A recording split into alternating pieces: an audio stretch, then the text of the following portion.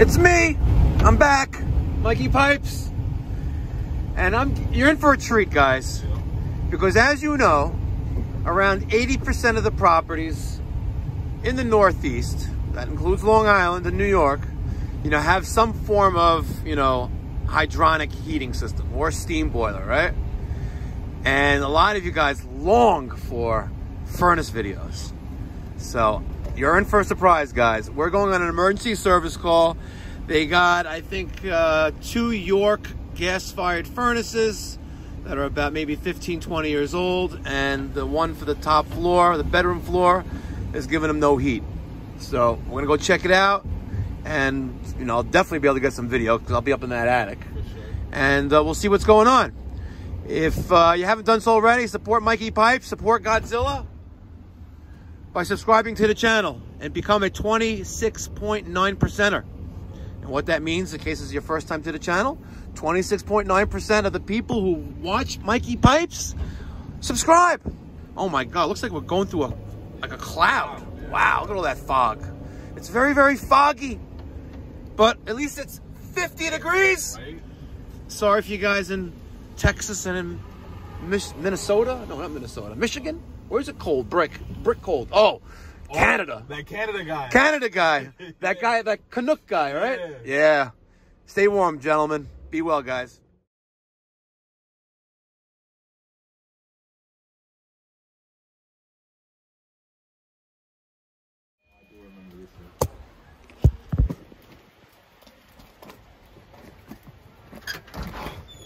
Good morning. Come on in, guys. How are you?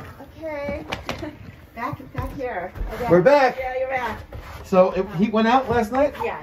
It, Okay. It was um probably like 8 p.m. -ish. Okay. So yeah, upstairs. All right, let's go see what's going on. Okay. And it's out right now as well, right? Um, say that again. And it's still out right now, right? Very good. Yes. We might need a new thermostat. We're gonna order one, but in the meantime, We can put one in if you want. it save us. Set for 70, reading 67. All right. there you go. All right. Well, at least they're considerate and put a, a light switch in. But I wish they had a floor. Ah. Yeah, how many times have you put a foot through the ceiling?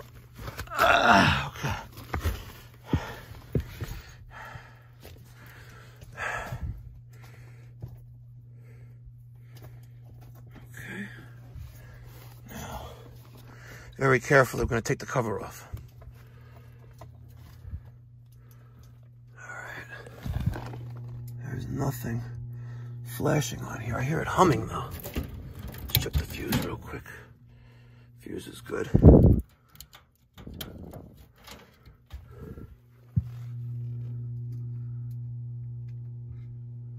It just flashed. All right, Steven, on that thermostat, I want you to turn it off. Let's wait 10 seconds and then turn it back on. Did it, did the thermostat like click off? Uh, Alright. That's the inducer motor.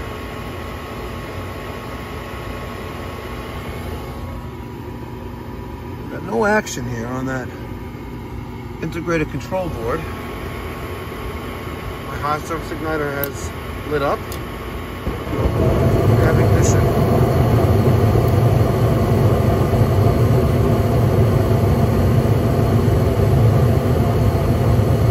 She's running. I'm gonna guess that probably something wrong with the thermostat.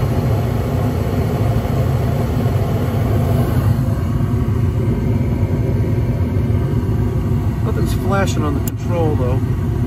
That's the fan relay. Just clicked on. Nice lit blue flame. We're gonna have to replace this thermostat. Alright.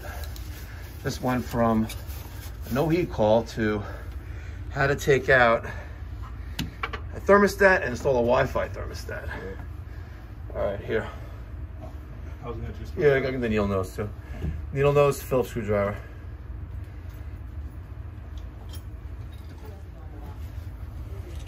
All right. No, you don't need it now, right? No, you're gonna need it. Yeah, we're good. Okay. because the dimensional size of this thermostat versus the new one is different. Okay. All right.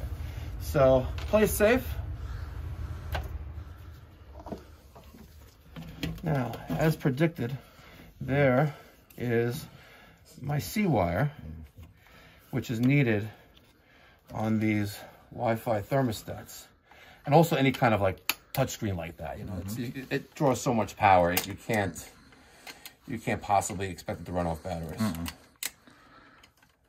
So, and everything was color coordinated. R went to R, C mm-hmm. with a jumper between RH. We had W, was the white wire, it's for heating circuit. We had Y, which is yellow, which is cooling circuit. And G is our fans circuit. So I'll take a look at all these things real quick. All right. Just gonna make sure the ends are nice, which they are. Good. So here's the base plate. I'm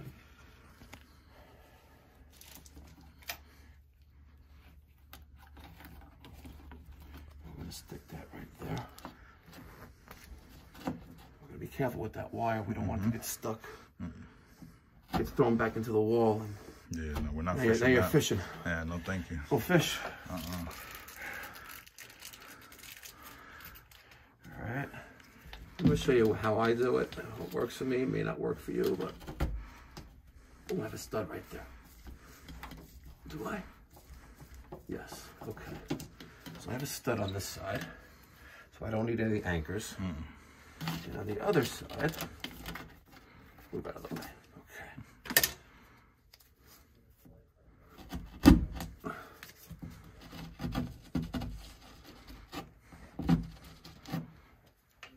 Now I'm going to take my plastic anchor on the other side.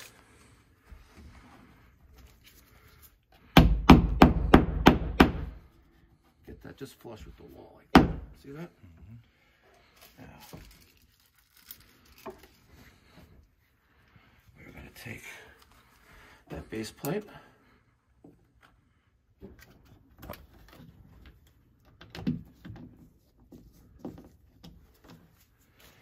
the other screw.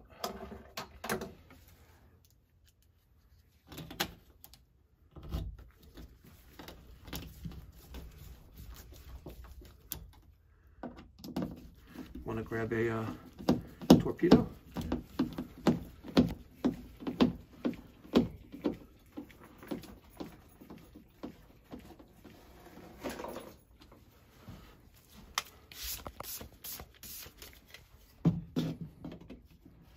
We're nice and level.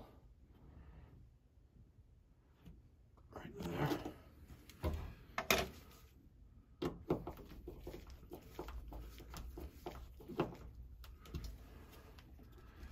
Okay, now, Mikey Pipes is a little blind. Let's zoom in a little bit here, Steven. Let's look. We have C mm-hmm. right there.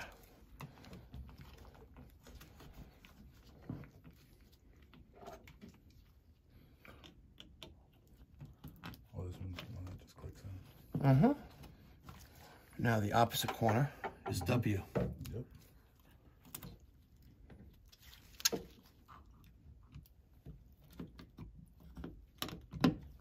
Okay. Now down here, look at that little jumper. That jumper is RC to R. If you take this jumper out and only give power on the RC side, mm-hmm. it's not going to turn on the thermostat. It needs power on R, which is for RH, obviously, in this mm-hmm. case. So just keep that in mind.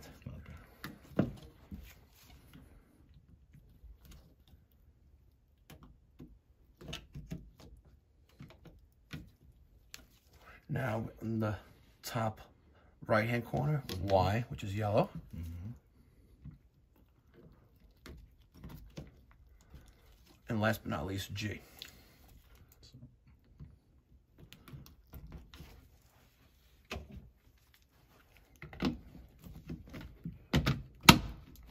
And that's why we asked if they had paint. Mm-hmm. Because if I put the wall plate here, it's just gonna look gross. Yeah. It looks nicer, a nice cleaner look with just that. So, but nothing's happening. Wanna know why? Because there's no seat connected upstairs. Exactly. All right. Here is our C wire right there. All right, so let me get this in just there. Right, like that for right now. Let's take our C wire.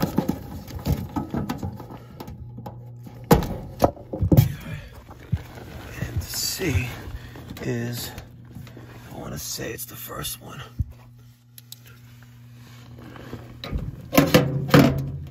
That's Y. C is right there. See that? So we're gonna take our screwdriver, loosen up the C terminal, and we're gonna take this wire, get in there, and tighten that up.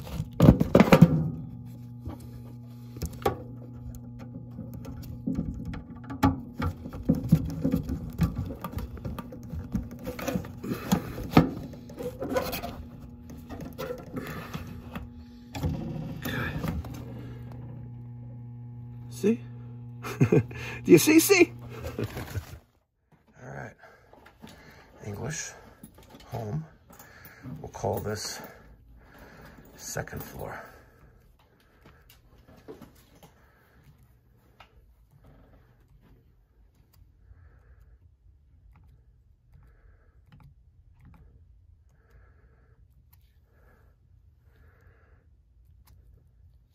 It does both.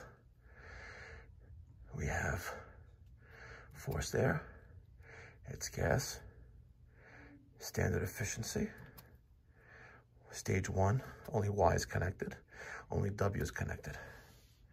And that's it. Yes, we'll connect to the Wi-Fi now. And this is the reason why we cycle systems multiple times before we leave a job. I put in that Honeywell uh, 9000 Wi-Fi touchscreen thermostat.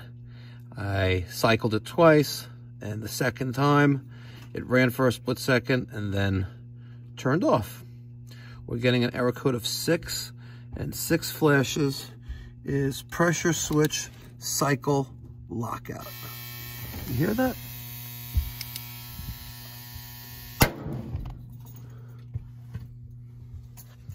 pressure switch cycle lockout. There's my pressure switch. Let's power cycle this.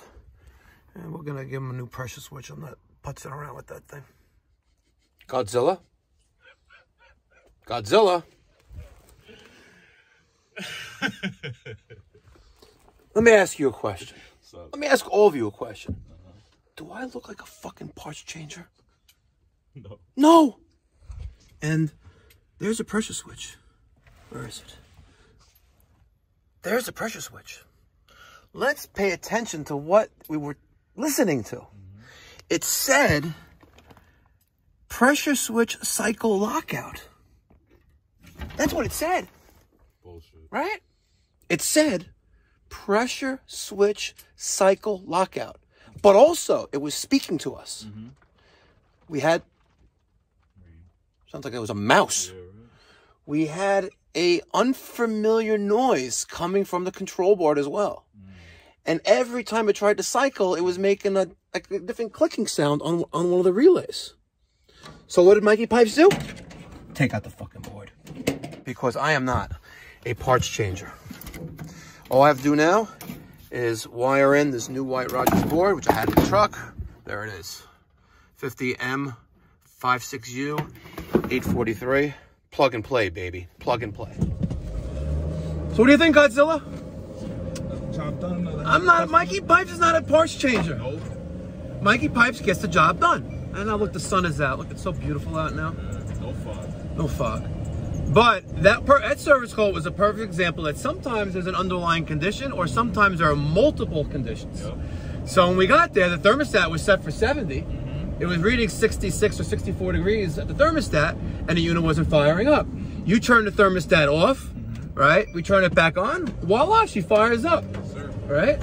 And there was no error code on the on the control board. It wasn't getting a signal to turn on. So hence we condemned the thermostat, which I wanted to replace for quite some time now anyway. We replaced the thermostat, which I show you step by step how to add a C wire to the system, right? Uh, let me put my seatbelt on before this thing just like drives me crazy. Right, and make sure I stop at stop signs like that one. It's called yield, Y-I-E-L-D. Look, please stop. Big white letters. So, you know, we took that extra C wire there, and now she doesn't have to worry about batteries ever. And if, that, if ever something goes fatally wrong with the furnace, the thermostat will be blank, and hence, you know, guaranteeing a service call. Yeah. Um, Then the pressure switch, right? So it was giving the false, you know, it gave us, it was a false error, but it's saying pressure switch cycle lockout. And it, it would throw off someone for a split second if you don't really have that much experience with furnace. Well, yeah, if you have experience with furnaces, it's going to throw you off for a split second, like it did for me. Right? I know that on furnaces you have a pressure switch fail to close error. Mm-hmm. Pre- and, and pressure switch fail to open error. So you have open and close errors. You know, if if the inducer motor is running and the and, and the pressure switch is not sensing it, mm-hmm. it's going to say that the pressure switch failed to close, right? Because if the pressure switch is not sensing it, failed to close. Let's say the inducer motor is not running, you're going to get the same error. Pressure switch failed to close because the inducer motor is the first thing that comes on Yep. once you know all the, the safety circuits are, are, are, clear and closed. You know, like the, the rollout switches, for example, right? And the high the high the high plenum temperature limit is another example. So if the inducer motor isn't running, you're going to get uh, pressure failed to close. If the inducer motor is running and the pressure switch is working, right? And you hear the control board clicking away, mm-hmm. well, guess what? There's something wrong with that control board. And 15, 20 year old furnace, listen, I would like to replace the furnace and eventually I will, but keep doing the right thing, showing the customer value in the work that you do. Look, she has a brand new thermostat now. She's happy. She can use it control on the app. If she's cold in the middle of the night, you know, instead of getting out of under the covers, she go in the app, raise the temperature up. If you're too hot, lower the temperature a little bit as well. Anywhere in the world, you're away on vacation, you know, you get a notification to your phone, hey, the heat is out, hey, or this or that, you know? So if you, if you enjoy content like this, subscribe. If you haven't done so already, become a 26.9 percenter. Mikey Pipes really appreciates it. Let's go to the moon. We're going to the moon in Mikey Pipes rocket fueled by Tesla. I want thirty percent. Thirty percent. 30%. I'm not happy with. Yeah, we need to have a 30 percenters. Yeah. And the rocket ship is as booster cells powered by Godzilla. Yes, sir. Have a great day, guys.